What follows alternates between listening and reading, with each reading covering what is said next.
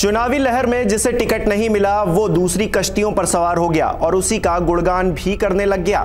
नेताओं का यही अंदाज तो उन्हें हम सबसे जुदा करता है। अब गाजियाबाद के पंडित जी को ही ले लीजिए। समाजवादी पार्टी में 22 साल तक सेवा देते रहे, लेकिन उसका फल टिकट के रूप में नहीं मिल पाया तो उन्होंने ओवैसी जी का हाथ थाम लिया और एआईएमआईएम के लिए इकलौते हिंदू नेता भी बन गए। चुनावी मौसम में अक्सर नेता रूठ जाया करते हैं और इसकी वजह अमूमन टिकट बंटवारे में उनकी अनदेखी होती है। ऐसे ही एक नेता समाजवादी पार्टी से रूठकर ओवैसी के खेमे में चले गए और उन्हें पार्टी की तरफ़ से एकमात्र हिंदू प्रत्याशी होने का गौरव भी मिल गया। दरअसल समाजवादी पार्टी के जिला उपाध्यक्ष रहे पंडित मदन मोहन झा उर्फ़ गामा साहिबाबाद सीट से टिकट के लिए लंबे समय से ताल ठोक रहे थे।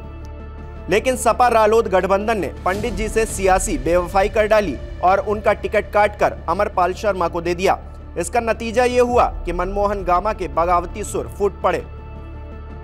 16 जनवरी को मनमोहन गामा ने अपना इस्तीफा अखिलेश यादव को भेज दिया और लिखा कि वो उन्नीस सौ अट्ठानवे से पार्टी के विभिन्न पदों पर रहे हैं। 2017 में उन्होंने एलिवेटेड रोड के शुभारंभ पर सीएम योगी आदित्यनाथ को काले झंडे तक दिखाए।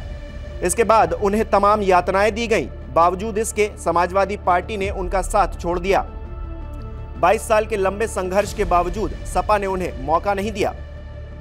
रुदाली भरे पत्र के बाद गामा ने ओवैसी का हाथ थाम लिया और उनका इनाम अगले ही दिन, यानी कि 17 जनवरी को मिल गया, जब एआईएमआईएम के यूपी अध्यक्ष शौकत अली ने प्रत्याशियों की दूसरी लिस्ट जारी की, जिसमें साहिबाबाद विधानसभा क्षेत्र से पंडित जी को टिकट मिलने की घोषणा सार्वजनिक कर दी गई। एआईएमआईएम ने उत्तर प्रदेश में अब तक 18 सीटों पर अपने प्रत्याशी घोषित किए हैं, जिसमें एकमात्र हिंदू प्रत्याशी मनमोहन गामा है। बाकी सीटों पर एआईएमआईएम ने मुस्लिम उम्मीदवार ही उतारे हैं।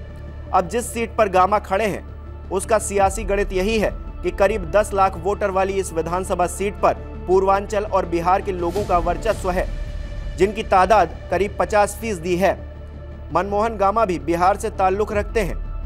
वहीं दूसरी तरफ़ पूर्वांचल बिहार के लोग साहिबाबाद सीट से बीजेपी विधायक सुनील शर्मा को दोबारा टिकट देने का विरोध कर रहे हैं। ऐसे में मनमोहन गामा कुछ वोटरों को प्रभावित कर सकते हैं और नतीजों पर असर डाल सकते हैं।